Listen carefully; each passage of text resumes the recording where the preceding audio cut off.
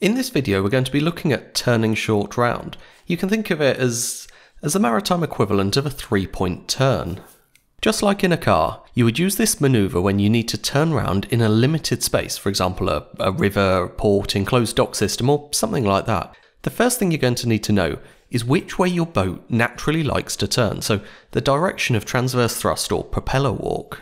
As a quick recap, transverse thrust depends on two things the propeller rotation direction, so whether you're right or left handed, and whether you've got a fixed or a controllable pitch propeller. Whether it's right or left handed, you look at your propeller from astern and see which way the top moves when you're running ahead. So if it's spinning clockwise, the top is moving from left to right, you're right handed. If it's moving from right to left, so like it's anti clockwise, then you'd be left handed. Next, we need to think of what happens when that propeller runs astern, so this is going to vary depending on whether it's fixed or controllable pitch. If it's right-handed, so it's spinning clockwise, and it's a fixed pitch, it's going to have to spin the other way, so it's going to start turning anti-clockwise to run astern. If it's a controllable pitch, however, when it's running clockwise running ahead, it's still going to be running clockwise when it runs astern, because it's the pitch of the blades that changes, rather than the actual direction of turning. Anyway, once you've worked out what direction it turns when it's running astern, you can use that to work out which direction your stern is going to move from the transverse thrust or the propeller walk. Again, just look at the top of the blades. If those blades are moving from right to left, it's going to be pushing your stern to the left, to port, when it's running astern, or vice versa if it's running to the right, so it's spinning clockwise when it's running astern, your stern is going to walk to the right and it's going to induce a turn in that direction. So a fixed pitch right hand propeller, which remember is going to be spinning clockwise when it's running ahead or anti clockwise when it's running astern, is going to tend to walk your stern to the left. A controllable pitch right hand propeller is also going to be spinning clockwise when it's running ahead, but it's going to be spinning clockwise as well when it's running astern, so it's going to tend to walk your stern to the right. If you look at your boat from above, if your stern wants to walk to the left, it's going to mean your vessel naturally wants to turn to starboard, and vice versa, of course. If it wants to walk to the right, your vessel wants to turn to port. So, whichever way your stern wants to turn, you need to take advantage of it when you're turning short around. If your vessel wants to turn to starboard, go with it, let it turn that way. In this demo, let's assume we're on a fixed pitch right handed vessel, so it wants to turn to starboard. We'll line ourselves up on the port side of the approach as we're coming up to the turning area, giving us lots of room on the starboard side to do the turn. As you make your approach, let your speed reduce until ideally you're stopped in the water as you're ready to begin.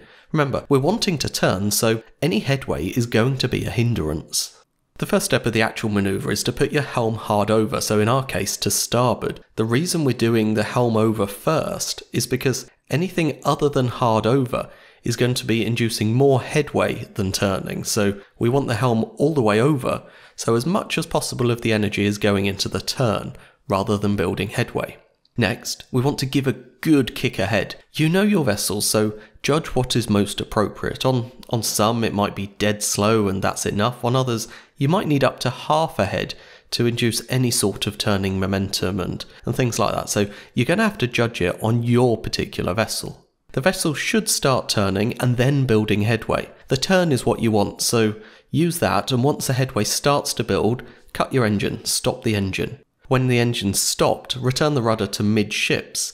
Again, remember we need to wait for the engine to stop because if we return the rudder to midships before the propellers stop turning, we're just going to be building up even more headway. So let that engine stop, then return the rudder to midships. Now you'll find that we're sat in the water with the rudder midships and you're just drifting ahead, so run the engine astern to kill that headway. Just do a good kick astern, it might be half astern, something like that. Transverse thrust is going to kick in, but because we knew what it was going to be, we lined up at the beginning, it's going to help us do the turn, so it's going to continue that turn to starboard by lifting the stern up to port. If you've got ample space astern of you at this point, just keep the engine running backwards, it's going to give you more leeway for the next kick ahead. If you're quite tight on space, of course, just kill the headway and then stop your engine after that. Next, you want to get that helm back hard over to starboard, and then you'll want to do another kick ahead. You want to keep that turn going with these hard to starboard and kick ahead. If you need to, then you stop your engine, you repeat the process where you come astern to kill the headway, ready to do another hard to starboard and carry on round.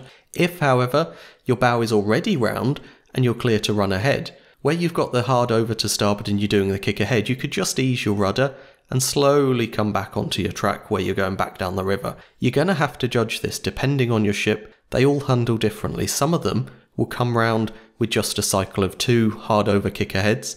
Others might take five or six. You might just literally end up shuffling back and forth. It's exactly the same as it is in a car. Sometimes you'll get round where you just do literally a three point turn. Otherwise, it could end up being a million point turn and you just take ages to get around. Either way, that was turning short round, the maritime equivalent of a three point turn. If you learned something from this, I'd love it if you hit that like button and consider subscribing and turning on notifications. You'll see whenever I post new content, which I aim to do every week. Also, don't forget to let me know if there's anything you'd like me to cover. The best way is to join the community on Patreon so you can message me directly. Otherwise, leave a comment on any of my videos as I do my best to read them all. Until next time, thank you for watching, and goodbye.